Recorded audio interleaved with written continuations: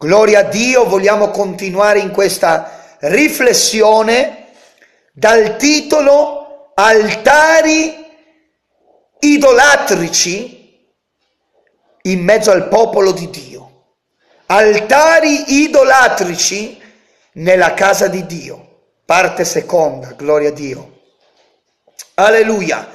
E vediamo che Manasse, stiamo leggendo nel secondo libro delle cronache, capitolo 33, Manasse, come abbiamo letto, che pur essendo cresciuto sotto, possiamo dire, gli insegnamenti di Ezechia, eh, io credo che Ezechia, come dicevamo nella prima parte, aveva trasmesso dei buoni insegnamenti a Manasse.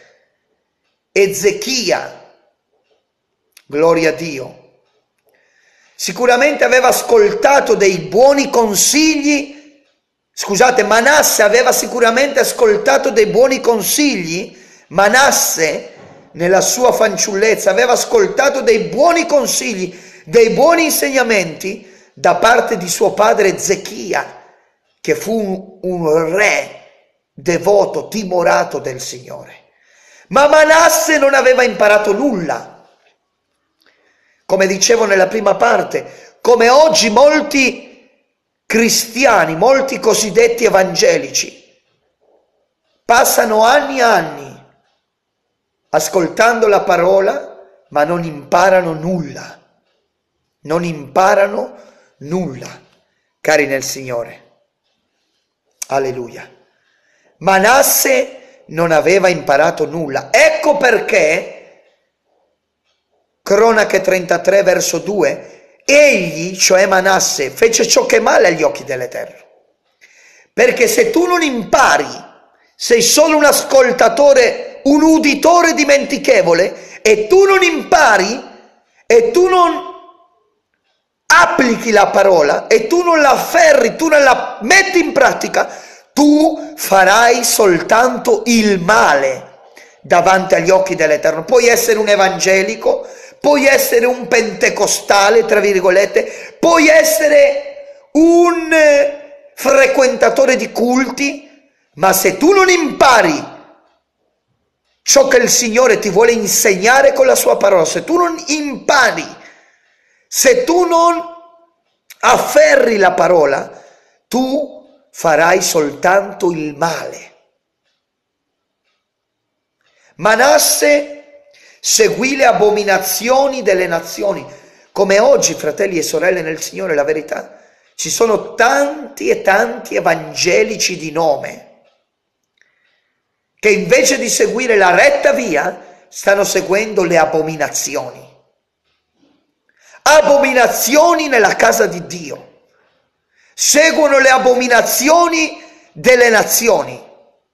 Seguono gli esempi del mondo le mode del mondo, i modi di parlare del mondo, i concetti del mondo, sono influenzati più dal mondo che dallo Spirito Santo.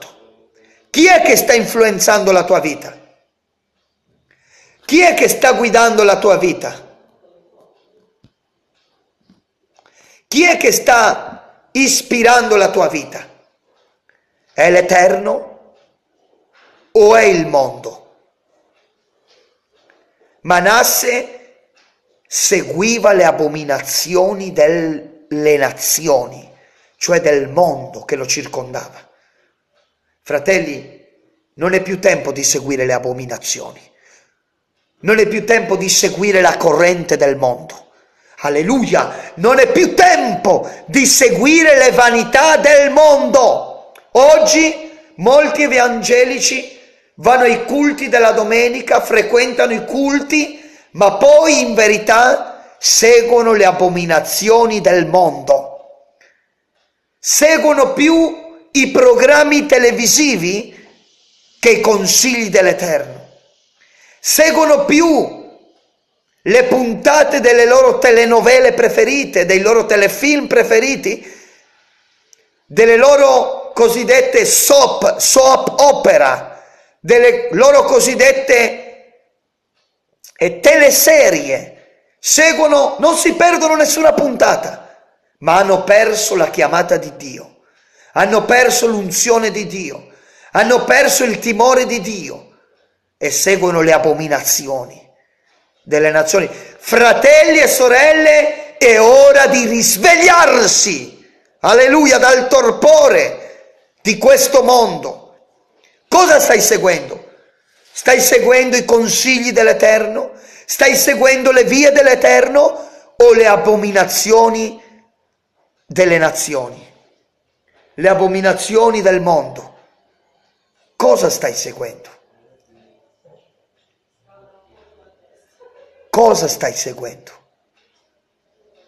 Non seguire le abominazioni del mondo presente.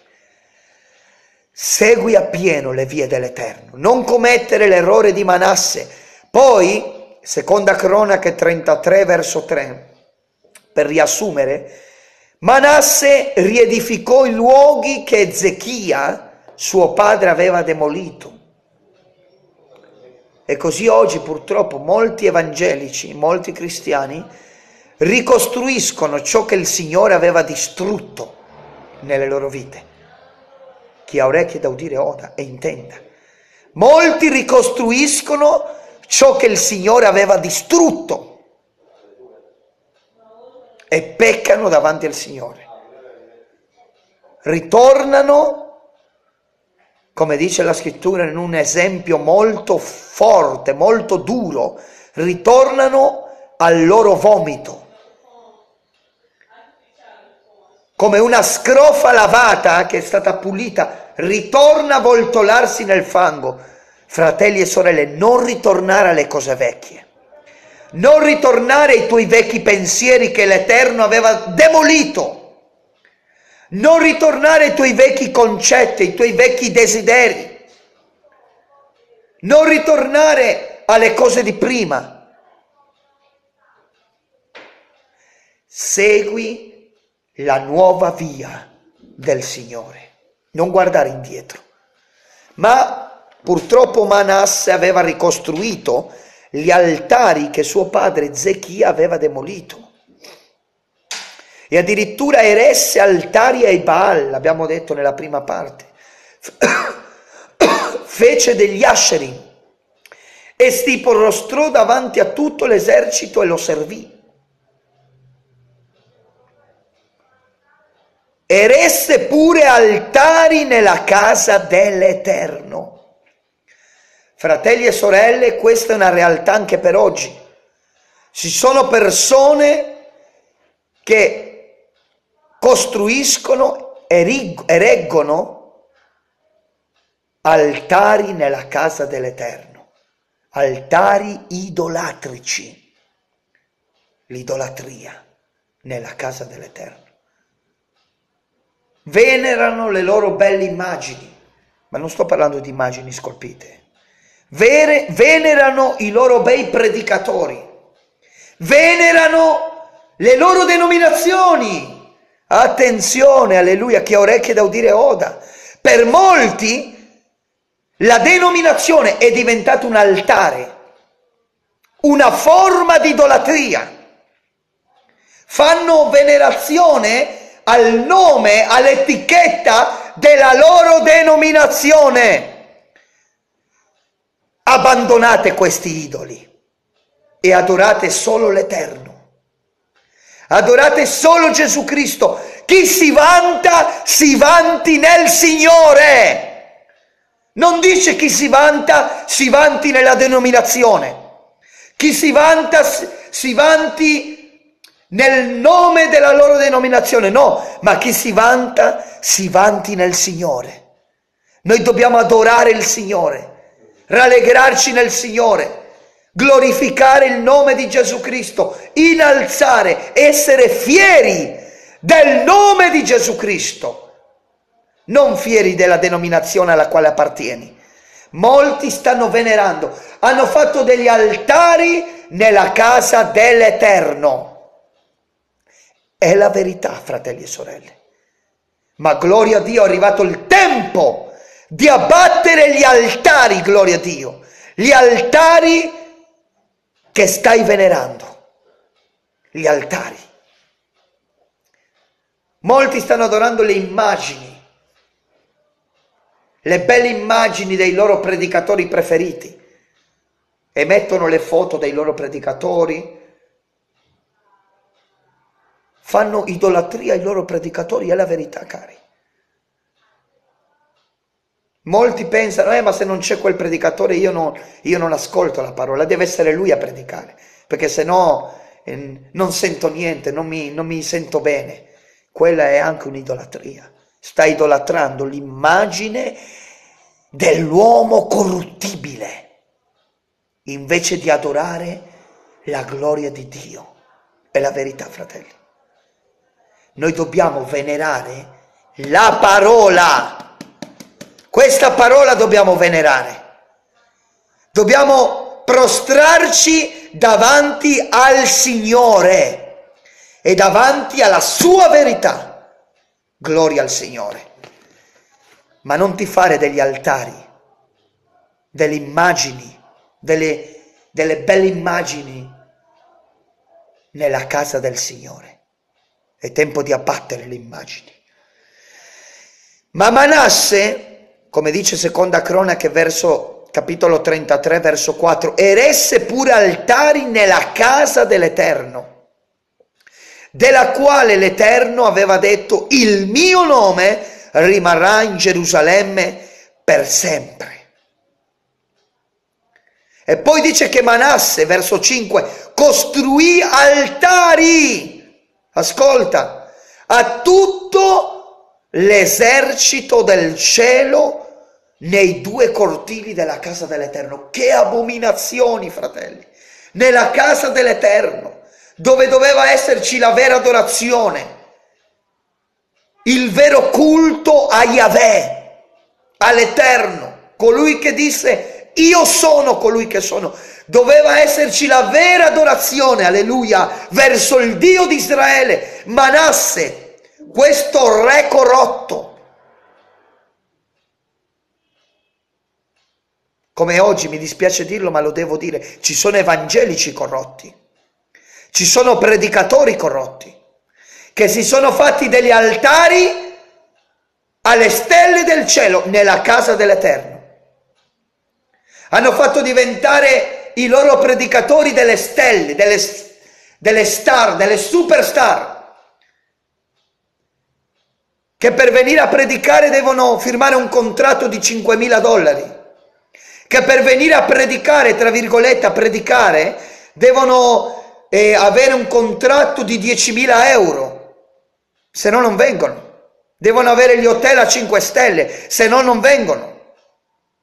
Hanno fatto degli altari alle loro superstar nella casa di Dio, alle stelle del cielo. Si sono fatti degli altari alle loro stelle preferite.